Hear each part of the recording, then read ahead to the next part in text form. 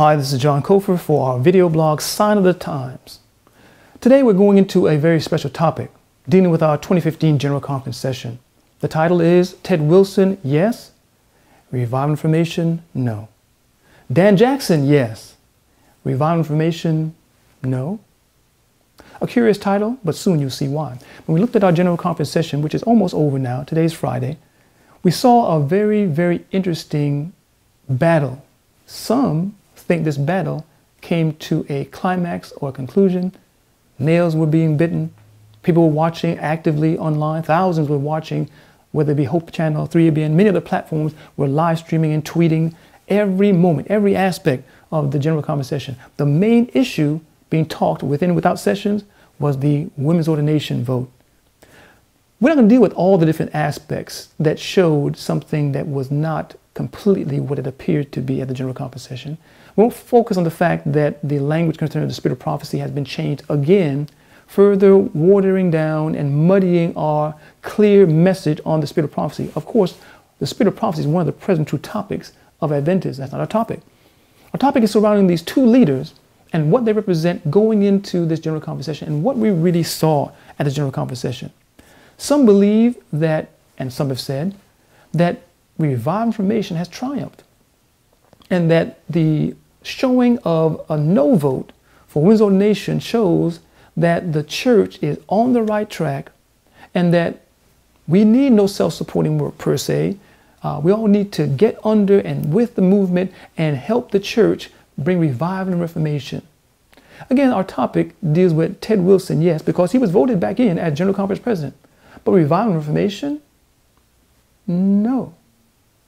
Ted Wilson, when he first came in, talked about a great controversy project in which he would get the great controversy before the nation, before the world, as stated in the prophecy of Ellen White, that it was a necessary book and must get into all the world. It should be our priority. Now, we well know that that was quickly substituted for the book or the abridged book, The Great Hope. The Great Hope is the official sharing version of the Great Controversy, even though it basically gutted, removed all the mention of not only the papacy, its atrocities, and the various messages and statements, biblical and prophetic, that outline its nature, its work, and its last day persecution of God's people. Every vestige has been wiped out. All the reformers, all the atrocities, all the, the, the identifying marks of Antichrist on the website for this book, Great Hope. It even tackled the subject of who is the Antichrist. And again, this further muddied the clear message that the three angels' message gives on who is this Antichrist power or this beast power of the apocalypse. Now, brothers and sisters, could Ted Wilson truly be a bringer of revival and reformation and the greatest of books that we have among us to promote this truth of present truth, revival and reformation, be taken and brought to the great hope? What about many other issues and points where there could have been a tremendous move for revival and reformation? Now, some would say in his defense that he spoke against T.D. Jakes, and I say amen. Some would say he talked about not having preachers and teachers from other denominations come in and preach among us. But brothers and sisters, even though he said that, that very same week there was an ecumenical dialogue or a interfaith dialogue at the General Conference. That very same week, and even continue to this day, there are many first day ministers, priests um, of all denominations, pastors, and so on, preaching at our universities. It continues to this day. At our General Conference session, one of the greatest issues that showed that revival and reformation was not truly coming and was not going to be dealt with was the women's ordination issue. The women's ordination issue, even though it is many times looked at as a North American division issue, it was brought to a forefront by the Columbia Union and the Pacific Union. Because the union or the union in our conference or organization has the ability to ordain pastors. Just recently after the no vote came in, the North American Division issued a statement saying that they would cooperate with the General Conference and they would continue to commission women to do work and so on. And it seemed as if they, to some, were backing off the idea of going forward with women's ordination because the General Conference voted they did not have the authority to vote. But brothers and sisters, the issue was that the unions were taking these votes. The union were taking their right to ordain pastors and giving this right to women. The issue was largely a policy issue as you go back and look at some of the history. These issues were looked at and voted upon by union leaders and they showed an overwhelming majority in favor of women's ordination. Now, to those that think that the women's ordination vote and the fact that large numbers, they say, some say, voted against women's ordination, was it actually large numbers? Actually, the vote was 41.3% in favor. Now, that may not seem significant to you, but when you look at the Twitter page of the head archivist at the General Conference Archives, he tweeted a very interesting factoid. He showed the three General Conference votes 1990, 1995, and 2015, and the percentage of yes votes in each respective year. When you look at those facts, it starts to show a trend that would quickly, I believe, silence some of the views or thoughts being promoted that this was a win for women's ordination and that God is still leading and guiding his church. Brothers and sisters, are we seeing God leading guide his church or creeping compromise? What do I mean by that? When we look at the Twitter page of the lead archivist for the General Conference, he showed that in 1990, the yes vote was 24%. In 1995, the next General Conference, the yes vote was 31.2%. In 2015, the yes vote was 41.3%. Brothers and sisters, we're getting very close. Yea, we are on the verge of 50%. Didn't Jesus say in Matthew 25 that when 50% are wise and 50% are foolish, that cry came? At 50%, the cry came, go ye out to meet. At 50%, they were all to be brought in. Brothers and sisters, how prophetic is this creeping compromise toward more and more favor toward women's ordination? And how long before the world church and the delegates of the world church are either split down the middle or largely in favor of women's ordination? What we saw was a world church delegate vote. The vote in North America, I think, would be much, much higher. And most of the present truth or conservative ministers that are saying amen and hallelujah to these things live in North America. Brothers and sisters, when we talk about Dan Jackson being reelected, what does that say about God steadying the ship and bringing revival and reformation? Again, Ted Wilson, yes. Revival and reformation, no. Dan Jackson, yes. Revival and reformation, no. In other words, when we look at Dan Jackson, Dan Jackson also believes that he is at the head and is a part of a movement of revival and reformation. Both the so-called conservative and the so-called liberal or progressive sides of the House, with their represent- represented leaders, both believe they're part of revival reformation. One believes that the revival reformation is new and innovative worship styles, new and innovative forms of evangelism, endorsing women's ordination to pastor Seventh day Adventist churches, and even to bring in a more tolerant, loving, quote unquote, environment, even for the LGBT community, community as members in our churches. Now you say, well, that's never been voted. That can, can never be. But the idea of having almost 40% of the world delegates vote in favor of women's ordination in a short amount of time could also at one time be said as never to be. We also understand, brothers and sisters, when we look at this trend, that Elder Mark Finley made almost a prophetic statement at General Conference, sorry, GYC session just last year.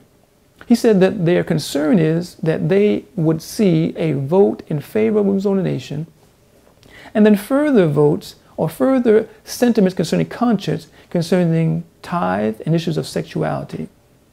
Now, the vote going no toward women's nation? does the sentiment change toward tithe issues? If we look back at the Treasury report during the NAD, uh, uh, for the NAD during the General Conference session, the tithe report or the Treasury report showed that the NAD is giving significantly less to the world field. Brothers and sisters, we can see that to continue. It's signs of the times. Who has the majority of money in this world field? Who gives the majority of money to the world field? It's not the North American division. If the North American division gives the majority of the money, who has leverage? Who can, because of this vote, say you know, even though we did not get the vote that we wanted, we can't conscientiously support with the tithe and offering of our division funds to go to an uh, institution or to a, a group of leaders that are systematically discriminating against women. How can we retain our 501c3 if we systematically discriminate against homosexuals? How can we continue to have our connection with ADRA and other different types of government organizations and receive money for our university and so on if we systematically discriminate against women and gays and all these various different social issues that are so prominent among us and being embraced largely by the very progressive new organization leadership of the North American Division. Brothers and sisters, here we are. And here's the sign of the times. Was there a win for revival and reformation during the General Conference session? Was there a win for revival and reformation for the NAD during the General Conference session? I close with this thought. In 1990 and 1995, with no internet, no social media, no Twitter, no large discussion and dialogue all across divisions concerning women's ordination, the amount of support jumped from 24% to high 30s or mid 30s just with, well, low 30s, because from 24 to 31%. But that jump took place with no internet, no Twitter, no mobilization. This women's ordination issue became a center point because of the votes taken by conferences, sorry, by unions here in North America. With Twitter, with the internet, with various unions sending out letters, with various churches and so on, talking about, various people preaching about women's ordination, there was a greater emphasis and idea toward women's ordination that has ever been seen. We saw another major jump, 10 points from 1995 to 2015. Do you believe the NAD in its statement to continue is going to now back off? Do you believe the tremendous outline they had for the North American division and their future plans, so eloquently stated by a good friend of mine, Pastor Marquise Johns? Do you think that that North American division statement is going to be retracted now and the women's pastors that they talked about getting are going to be pulled back, and all the things will be reshaped and more in line with General Conference votes. Brothers and sisters, they're already moving forward. They've gotten the greatest advertisement they ever could have gotten during this session. They've been able to mobilize and even have this no vote cause a greater fervor. A yes vote would have been triumphal, but a no vote further creates resolve and desire to forward the movement and to take their own personal liberty, they believe, to do what they believe is right.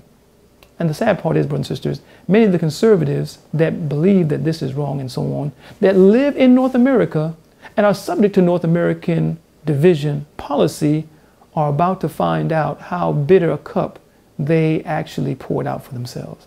Because again, remember all these individuals that were speaking against North American uh, division policy and North American division actions and union actions in fostering women's ordination. These speakers like Doug Batchelor, Stephen Bohr, uh, um, Brother Walberg, all the individuals that made public statements, do you believe that the ASI rules, which are nothing more than North American division rules, may be changed and tightened to keep control of certain speakers and certain statements that are critical of leadership? not supporting duly appointed leadership? Do you think there may be some tightening of rules of where people can go and preach? David Gates was a very, very glaring example of the, I would call the first fruits of what's about to take place as those that were against women's ordination here in the North American division start to feel the sword come against them. Brothers and sisters, we're going to see some interesting things happen when the ASI and Outpost Centers International umbrella which people believe is self-supporting, which is nothing more than a, a basically an agent of the conference. When these entities are made more and more stringent, when the rules and screws are tightened down on these institutions, and you have to either sign documents like David Gates was asked to do, sign away your liberties, sign away your conscience, sign away your ability to preach against women's ordinations. And when these things start to happen, when you can't preach present truth as you usually uh, believed that you could, when you couldn't preach about health anymore because you're not a doctor or, a conference approved health speaker, when these things start to happen, how many are going to start to find things that were sign of the times, even on these blog posts, that they thought one time were ridiculous? Truly a point of clarity. I'm J.R. Cofer, and that's Sign of the Times.